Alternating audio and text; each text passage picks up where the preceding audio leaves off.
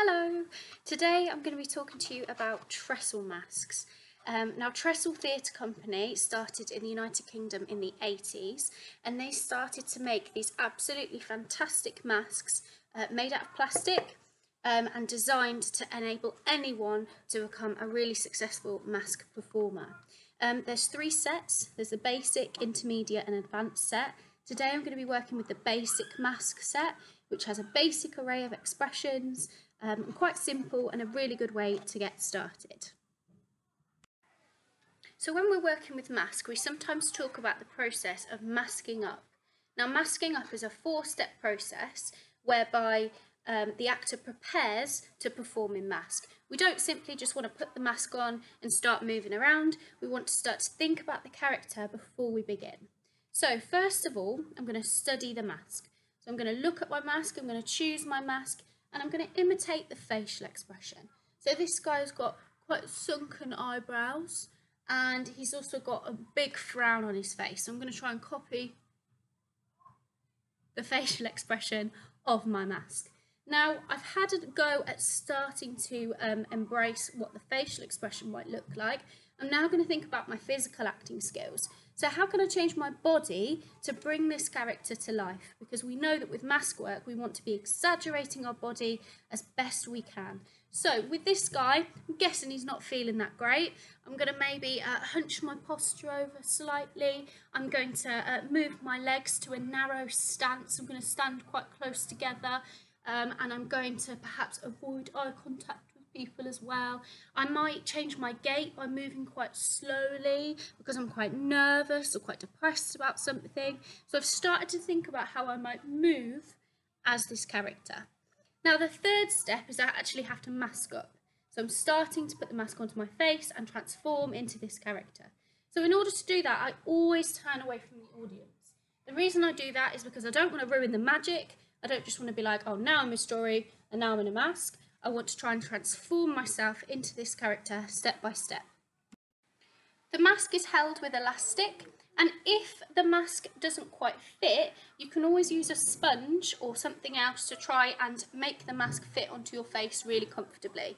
Once the mask is in position, you want to try and make sure that you place your hair or anything else um, kind of around the mask so that it looks as natural as possible. If, for example, you just put the mask on and all of your hair is kind of around and we can see the elastic, it kind of breaks that illusion slightly.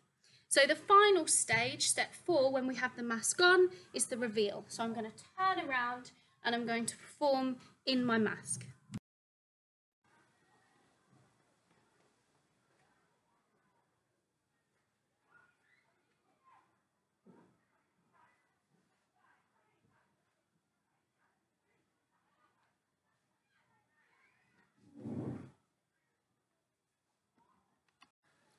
As you can see, when performing in mask, you have to exaggerate your physical acting skills. You have to make everything 10 times bigger so that you can really start to bring this mask to life.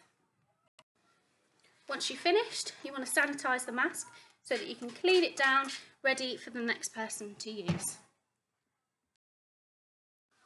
A couple of things to remember when you are wearing the mask and performing in mask. You never want to touch the mask whilst you are performing. So although it might be tempting to adjust the mask because it's a little bit uncomfortable or to try and interact with the mask's face, you want to try and keep that illusion alive as much as possible and keep your hands away from the, uh, the face of the mask all the time whilst you're performing. Another important point is that you're not going to talk whilst you're using full mask. Some masks in drama we use half mask, but when you have a full mask, you're not going to be talking because the sound will be muffled and there's no space for the sound to come out freely. So that's a summary of basic trestle mask use.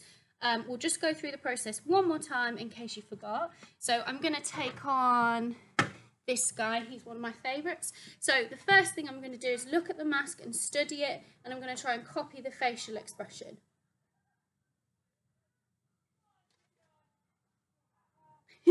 so I imagine this character to be quite smarmy, to be quite smug, quite in love with himself, and I'm going to start to imitate that in my physical acting skills. So first of all, I'm going to adopt a wide stance. I'm going to stand with my legs quite far apart. I'm going to have a tall posture show that I don't really care what other people think of me and that I'm quite arrogant. I'm going to use quite big, grand gestures as if I'm looking for a fight with someone else. Um, and I'm perhaps going to move quite quickly in a threatening manner in order to intimidate people around me. So then the third step, I turn away from my audience and I mask up. I adjust so that my hair is around my face. And then I reveal the mask.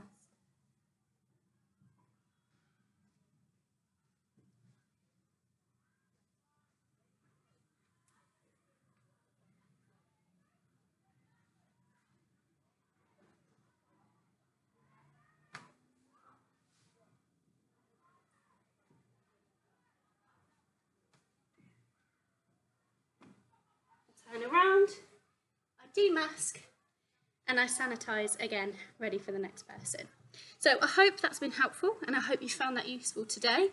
Um, the basics of trestle mask and the basic rules of mask um, explained.